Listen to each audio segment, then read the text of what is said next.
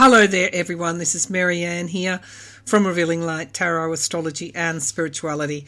How are you, wherever you are in the world, when you're watching? A huge shout out to you.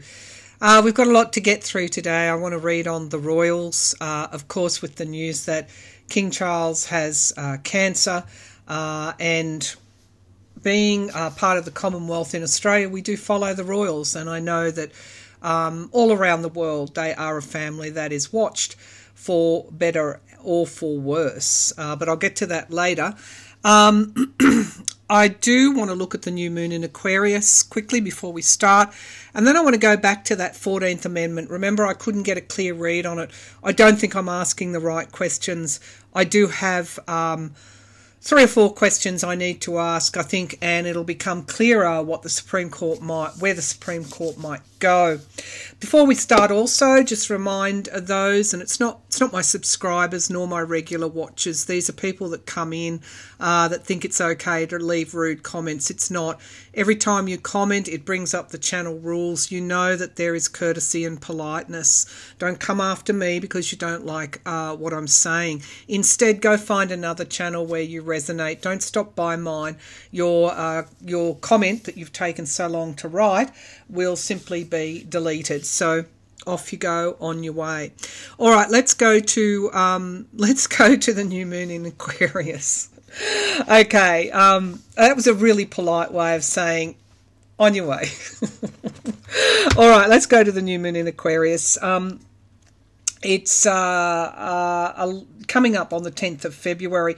New moons are all about manifestations, um, starting new things, uh, bringing forward your, um, I guess, the goals that you want to achieve. It's a very good good time to do that. Uh, and of course, full moons, which we'll have later on in the month in Virgo, in this case, uh, are all about completions, bringing things to to an end. The I guess where I want to go with this new moon is um, in the lead up, certainly today that I'm recording this, uh, we have so many conjunctions going on that um, it's it just underscores how explosive the times are that we live in. It doesn't matter what channel you turn on, what social media you go to, uh, you will find news of uh, pretty, pretty much illustrating Pluto and Aquarius uh, effect. Um, people standing up uh, and uh, bringing forward the truth. Uh, and wanting change. And I think this is a time, if we look at it optimistically, a time of great change also a time of turmoil. So we have the moon is conjunct Venus. Uh, so when you have a conjunction, you have the blending of the energies, making it even more uh, potent. I just I think that's a good word for it. Um, the moon is also conjunct Mars and also conjunct Pluto. So if the moon is our feelings, how I feel, uh, it can also be about the soul and the soul's purpose. All these conjunctions with Venus, the planet of uh, love, our relationships, Mars, the planet of driving things forward, can be aggressiveness at its best, assertiveness, standing up for what you want. Look at the protests all around the world. Irish uh, farmers are actually getting into their tractors also uh, in France and in Italy now. They're, they're, the farmers are hopping into their tractors, uh, protesting, um, protesting, uh, not getting. Uh, a fair deal, basically. Um, and we have, most importantly, the moon conjunct Pluto. If you look at the moon in the tarot, it's about things coming up from the you know from underneath. Uh, it's about the deep, deep dives, uh, which is Pluto, uh, down into the subterranean levels. So we've got a lot of truth emerging at this time. Uh, Venus is also conjunct Mars, so watch your words. Don't don't get don't get overly aggressive. Use your intuition. There are better ways of saying it. Mercury conjunct Pluto. Uh, again, we are going to want. We are we are seeing what perhaps has been hidden and we are bringing that uh, to the surface and talking about that.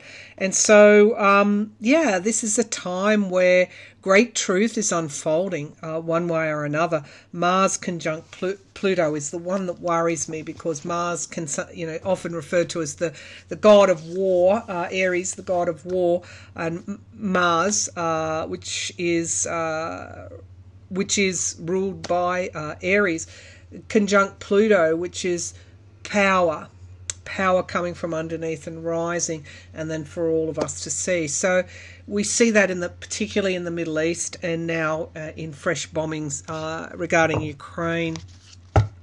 All right, so on Ukraine, I just want to say this: don't come for me because I don't read on Ukraine every week. If I if you scroll back to a search of my channel, you'll see I do monthly, uh, sometimes bi-monthly readings on Ukraine still, and uh, for two years I read on them almost every week. So um, the focus on the Middle East takes us there because of the um, the gravity of the loss of life there, greater than in any conflict since World War II. So, um, 11,500 children, I think 26,000, um, and the International Court of Justice uh, saying there's a plausibility of genocide, uh, whether it's it's not a competition, whether it's uh, the Middle East or whether it's Ukraine or in any other conflict in the world, we are for peace on this channel. And if you can't be uh, courteous in your uh, comments, then don't bother because you won't be here for that long. It's that. The English have got a good word for that. The the Brits have got a good word for that. Uh, but I won't swear on the channel.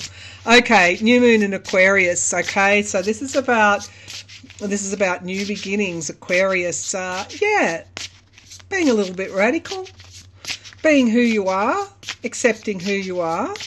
You don't have to fit into any one box. Uh, it's also about innovation and uh, and can be social media too. Now we have in the US Mark Zuckerberg uh, before the Senate apologising to the US, and I think he needs to apologise to the world because we've lost uh, teens to who have unsubscribed from life uh, because of uh, bullying uh, that has been allowed across Facebook. Many people have lost money taken down by scams on Facebook. Well, he should apologise, and all the others as well. Okay, so uh, new moon in Aquarius, and for the person that says please put timestamps because I don't like astro- astrology, please find the timestamp yourself. I'm deliberately not going to do that. I don't need to spoon feed you.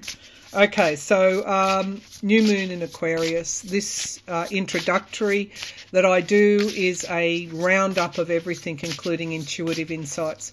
All right, so new moon in Aquarius. Yes, I am. I am assertive. Must be that Mercury conjunct Mars. All right, so um, new moon in Aquarius. At least I have a smile on my face. New moon in Aquarius. What do we need to know for the collective, please, and for individuals as well? All right, let's have a look here. So we get path, justice and adjustment. Adjustment, that's an interesting word.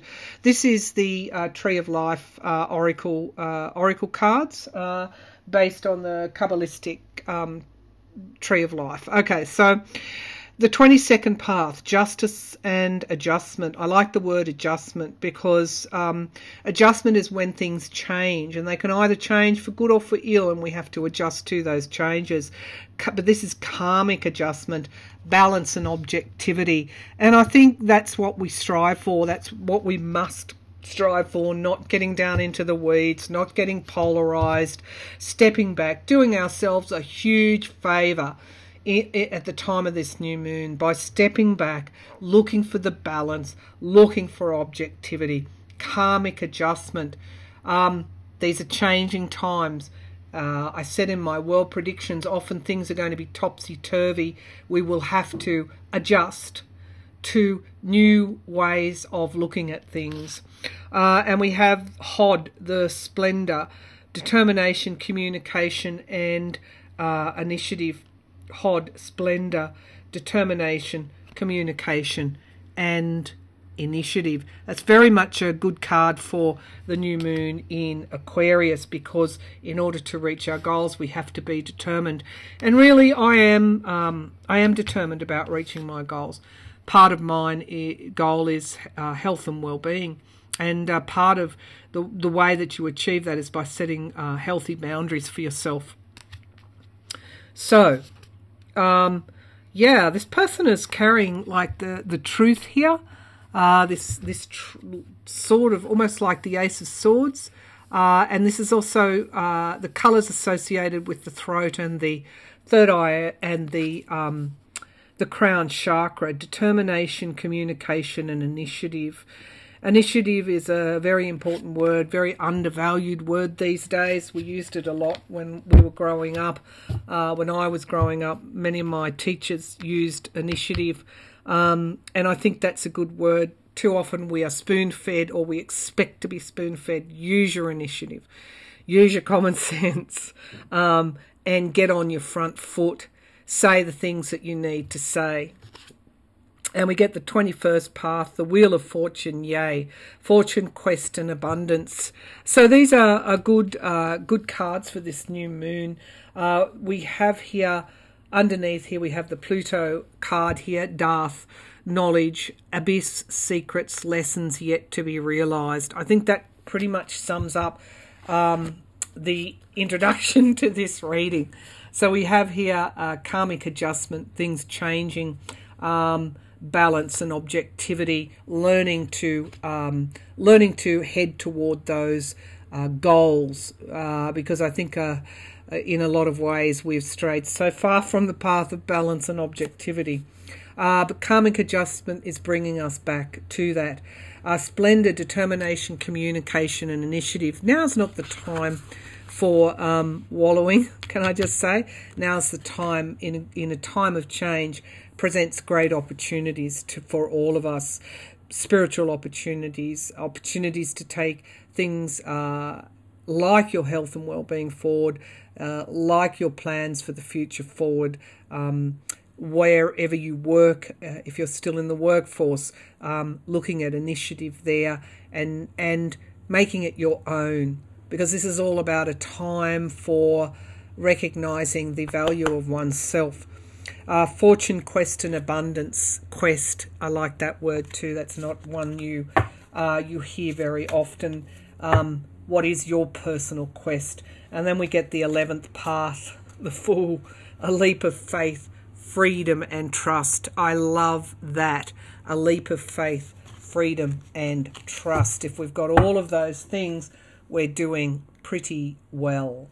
Okay, so let's get on with the political reading. Before we do, this cup of tea was quite warm before I started. It, it was one of those good cuppers um, that the English really love. You know, you can see them thoroughly enjoying enjoying their tea. Well, I was in that frame of mind. And I'm really enjoying my cup of tea. All right, I'm uh, using the Mystic the Mythic Tarot and also Tarot Lunar Somnia. Mythic Tarot and Tarot Lunar Somnia. All right, let's get started. Uh, now, I, if any of you have been watching me for some time, you will know that I went back in my readings nine months ago, the coronation reading, and uh, two readings on uh, King Charles after Queen Elizabeth had passed, all alluded, all all said that I did well. I didn't feel his reign would be that long. Um, now I don't feel that he's going to pass anytime soon. I think his treatment's going to be top class, but I think it will leave him with. Um, it will leave him less resilient than what he was pre cancer. And he will abdicate in favour of uh, handing the throne while he's well enough, still there, still well enough to guide William. Uh, I feel that it's not a long reign, and I see an abdication uh, coming down the track here as a result of this cancer. Um, okay, so let's take a look. Uh, will Charles uh, recover? That's what I want to see. Um, I feel he will. Uh, certainly, cards that I've pulled since I've heard the news show me that he will recover, but I don't feel that it's a full return to health. I feel that is the reason that he may advocate. But we'll ask ad, abdicate. We'll ask that question. Will Charles recover? Will Charles recover? Will Charles recover? Show me, Will Charles, what do I need to see? They are public figures. They're a monarchy. Um, and I do tarot and clairvoyance and predictions. So if you're not not into that, again, go and find a channel that you're more comfortable with. Okay, so will Charles, will King Charles recover? Will King Charles? Yeah, I'm seeing the Six of Swords. It's going to be, yeah, it's going to be um, like it's hard work what he's undergoing. I can say that from experience. It's not for um, it's not for the faint of heart. Cancer treatment is rough. Uh, chemo, whatever he's undergoing, uh, radiation, I don't know, but it's a rough treatment. Um, but it's going to be hard for him. But I do see that he does recover. Now that slipped out as I was uh, as I was shuffling. Many uh, monarchists on this channel will be pleased, and also my UK viewers will be pleased to see the star card, uh, showing that there is hope there. And we see the butterflies coming out of Pandora's box. Um, it's a very, very, very gentle energy. Uh, dragonflies, butterflies. Um, and we see the angel here of uh, protection uh, in the sky, the star of hope. So there is hope that he will recover. Show me, will Charles recover, please? Will Charles recover? So we see here the Seven of Pentacles, yeah. And this is as I thought. Um, his plans will change. So uh, I think initially he thought um, with the prostate there may have been a suspicion that all was not well, but uh, I don't think he expected to get the news that he got. Uh, and so while there's hope, there's also a change of plans there as well. Um, he's in very good hands here and we get the Eight of Wands. So we get um, news coming fairly quickly on this. That's the foundation of the reading. For those that ask that what spread I'd use, I just use a, a, my own version of a Celtic cross. Uh, as you use your versions of whatever spreads you use. The Eight of Wands is at the foundation of the reading. Uh, and this uh, says that news will come quickly regarding this and in all facets of this it's going to it already has shocked many but we're going to get this unfolding news that perhaps we're not quite comfortable with. The queen of swords is in the past logic investigation. The queen of swords investigation having a plan moving forward very logically. This is also the queen of swords has really strong boundaries. So um, I do get the impression there may have been hints of this before he went into hospital. Um, they said it was found incidentally while they were doing surgery. Um, usually, with an enlarged prostate, they will do an MRI or a PET scan. Uh, and really, this is logic. This is logic. And on the MRI, they don't just go in and say, Well, I think you have a, an enlarged prostate they go in uh, with scans before they touch anything, and on those scans would have shown what else was there. And so they went in with a plan. This is one criticism, well, not one, it is a criticism of the royal family. Um, it's like the tangled web they weave. Uh, we get the devil card in the sky, toxicity. So that is uh, that is you know, that can be the devil card can be um, it can be uh, around ill health. You know, you have to dig what is toxic within you. What is you know was there. Um, where was the cancer? And I don't know where the cancer was, but I think they did know that. But we get the devil here. Um, much of the much of the social media and reporting around the royals is toxic and we get that in the sky here. Um, it's not one that I'm comfortable with. The Nine of Swords is a lot of worry, uh, and I think this is just taking us back to what the atmosphere around um, the royals is now. There's a, there's a lot of um, shock, bewilderment. What happens now? So quickly on the tail of, of Princess Catherine's illness. Um, Prince Harry flew over very quickly to see his father, yet many of his critics seem to turn that into a terrible thing. Um, the lovers we have here, um, outpouring uh, of love, and then we get the family and inheritance card.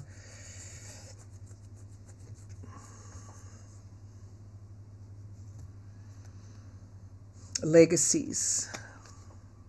We get the Ace of Pentacles in the hopes and fears, new starts.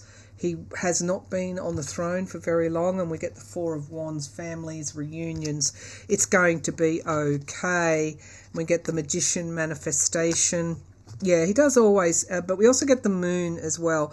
So while he gets good recovery cards, we also get something here that we don't yet know. Uh, and then the chariot, we could get more information around the new moon in a couple of days. The chariot and the moon card and the sun. Very, very good cards uh, here. And we might also hear something around the eclipse in April. Um, full illumination, and then the King of Swords, planning and logic. Um, strategies going forward, yeah. Okay, so the recovery is there, but there is something else here that is yet to come. And so let's see what whether or not in time to come, whatever divine timing it is. Um, I was a week out on my 14th uh, on my immunity decision, um, but legal experts say that that judgment in three weeks was actually quite uh, quite quick, uh, all things considered. Okay, so, but yes, I got it right. They uh, the DC court found that Trump was not immune, not immune from prosecution. All right, let's see. King Charles, King Charles, King Charles, will you abdicate? King Charles, will you abdicate? Down the track, will you abdicate? further on down in the track, down the track. King Charles, we advocate. I don't think he's interested in um, suffering until he he dies on the throne. Um, now we get the emperor control, the emperor, the king. You don't get much higher than the emperor. It's combination of all four kings, the emperor. And then we get the Six of Pentacles, giving and receiving help. Okay, so I think that while his reign may be, may be short, I don't know yet, uh, although these are both, yes, cards, um, helping others. He's most interested in helping others.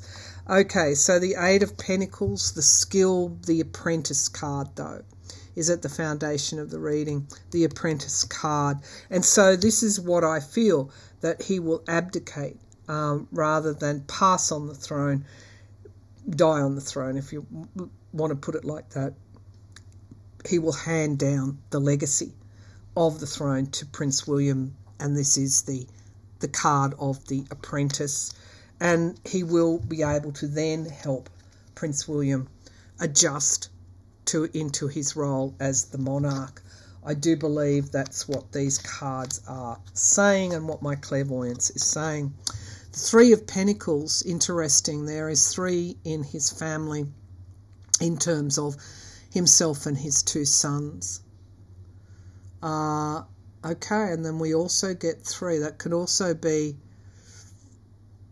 Edward, Anne, and Andrew uh, Three of Pentacles. This again is almost um, that's in the past. It's it's about building something, drawing on, um, drawing on his his his brothers and his sisters to help him, um, drawing on William and Kate uh, to help him. Um, this is about building something, but it's in the past. I think he had grand plans to reform the monarchy. The Hermit card in the sky uh, suggests suggests somebody who's undergoing a fairly um, it's not the dark night of the soul, but it's there. You're in the you're in the darkness, and you have the light of your inner wisdom to guide you. It's also the card of the of Virgo. We get the devil though here in the immediate future, and again, there's much that's surrounding the royal family uh, and the way the courtiers and the way that whole spin is done that is extremely toxic. Um, the Eight of Wands, we, we're going to get news fairly quickly. That's coming in the present. So expect some news around this question. Uh, the Nine of Swords again is is the anxiety in the environment around the hopes and fears is the new start. Yeah, he's doing a lot of adjustment and he is conscious that the people, that's the outcome card, need to have hope. And the Seven of Pentacles, again, the planning. If plan A doesn't uh, succeed, will go to plan B. His uh, disappointment here, but there is one cup remaining. You can see that the cups are out of his, his grasp. He's speaking with his family here. So, um, yeah, and making that decision again to do the best thing he can do for his people.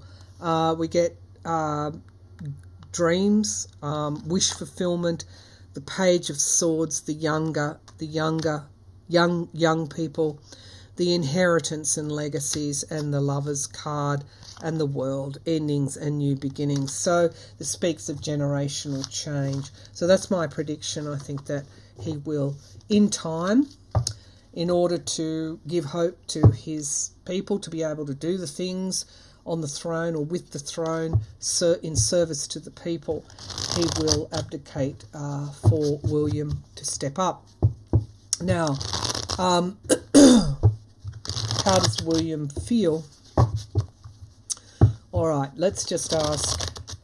Yeah, okay, so does William does William understand that he may become king sooner rather than later?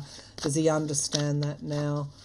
Does William understand he will become king sooner rather than later? Show me how is William feeling? Prince William, how is he feeling?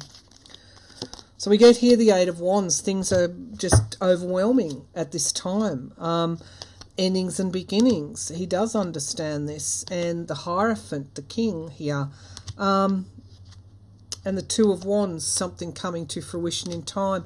He wanted more time.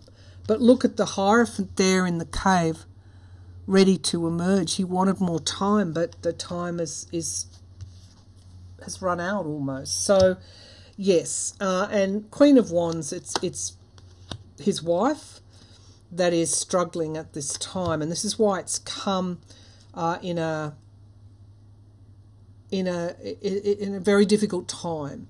The Ten of Swords is uh, is fairly it's the end of something. We get the Judgment card and inevitability, and then we get we get Princess Catherine's ill health, and the Eight of um, Swords restriction, family. So he is in uh, his headspace is yeah, understandably um, yeah this is just going too quickly for him. Is he's overwhelmed and he's extremely still worried about his wife. And if you looked at my reading, you'll see just how serious her illness, both physical and I think to a degree uh, burnout there as well, how serious her illness is. Okay, um, right, now many were trying to make up stories about how Prince Harry's visit with his father went. Um, let's have a look at how it went. How did Prince Harry's visit with King Charles go? How did I see uh, a cup and they're uh, speaking over the, it's like the ace of cups there's light here as well um, no time for minute examination of anything really, but they met over it, it's the cup of love. It was a gesture of love, and and Charles met King Charles met that love with love. This is a father and a son, not not Twitter, toxic Twitter or whatever it is now, X not not Sussex versus Wales or whatever the crap that people come out with. This is a father and a son meeting over the cup of love. Okay, so how did that meeting go? No need, there was no time, nor uh, was it appropriate to really go into any detail at all. It was simply an expression of love and it was received in that way. Show me how Prince uh, Harry and King Charles's meeting went. the Eight of Cups. So we get loss uh, here, and then we get something coming to fruition in time. It's interesting. Um, and then we get the Ten of Pentacles, uh, family legacies, the family card, the Empress card in the past, abundance, love, things coming to fruition. In the sky, we, we get the Queen of Swords, logic, planning. Uh, and then we get the Hierophant, the King here, the absolute ruler. Queen of Pentacles in the here and now. Uh, she has everything she needs, and we get the movement here. There could have been, uh, I don't even think there was discussion about will Harry return. I mean, that's the latest tabloids. Will Harry return? Um, let's keep going. This was a family meeting. The hopes and fears. It was designed, I think, as a, as a he, something that could be healing. The hope was that there would be healing there. The question is, was there healing? And we get the moon. No, still tumultuous. Um, the hope was that this that they would heal. Uh, we get the nine of pentacles. And we get the Six of Swords. Okay, moving out of troubled waters. So that is definitely a healing card. Um, Okay, let's pull one more. And the lovers, yeah, moving out of yeah. Okay, so it it wasn't everything was smoothed over and the relationship returned to back to what it was. No, it wasn't that, but there certainly was a degree of healing. It's there certainly was a degree of healing there, but there was there's a lot of emotion with the moon here. A lot of emotion here, um, and then we get the Queen of Cups, caring, love uh, that cup here, meeting over that cup. Um, what's at the base of the pack? So no fairy tales here, um, but it was a tough. It was. It would be tough to sort out the kind of family issues that are there, that have been outlined uh, in Prince Harry, the whole history. Um, we get the High Priestess, some a secret being uh, emerging, and we get the Ten of Wands and the Chariot and the Eight of Wands. He went there. It was serious. He went there because um, he is worried. He was worried about his father. I'm not even going to go into the fact that uh, many are saying he went there for publicity purposes. For God's sake. These people who don't seem. Anyway, cannot see anything but hatred in their heart.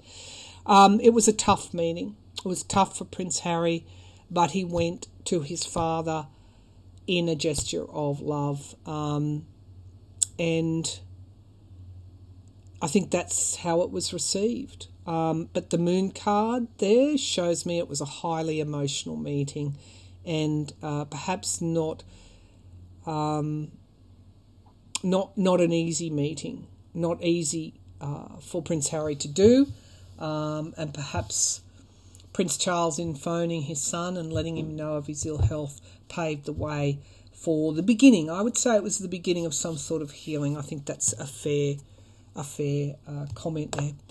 Okay, so gosh, I do want to get on to the Fourteenth Amendment.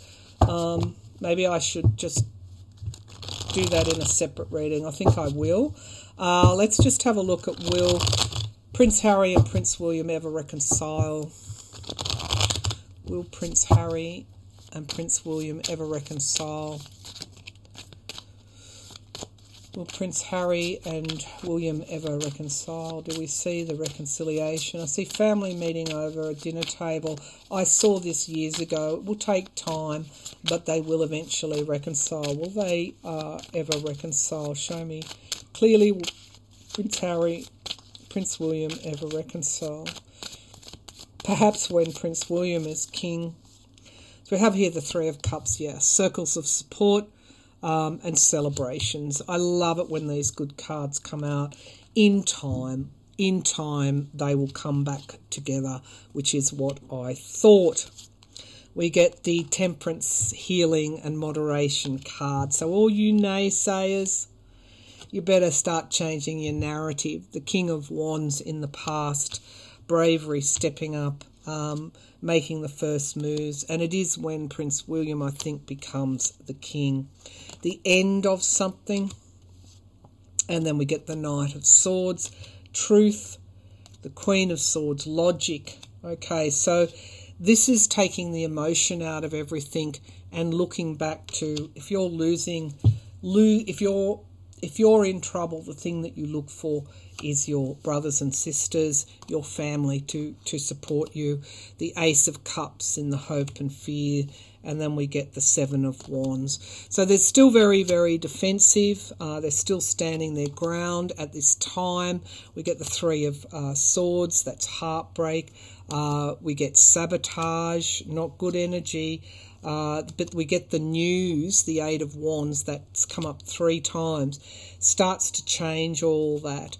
Um, and we get loss when the chips are down, and then we get the Sun card here, um, which is uh, returning to happiness. Um, there will be a lot of obstacles, challenges in their way, uh, and the Two of Pentacles, they are I don't know, strength, strength. They will find the two of them, even though it's volatile at the moment, they will find strength in in each other. It's almost like William needs Harry and Harry needs William. It, you do need your family around you uh, in times of uh, trouble. We get the Eight of Swords and in inevitability but we also get this beautiful Six of Swords card, which is the healing card, moving out of tr- troubled waters, and the family card. So, not right now, not right now. There's a lot of divide between them, but um, yeah, they eventually will reconcile down the track. Okay, so I'll um, finish that there. Um, well, one more. Sorry, let's have a look at Princess Catherine um, Princess Catherine. I just want to see how she's doing. How is Princess Catherine doing?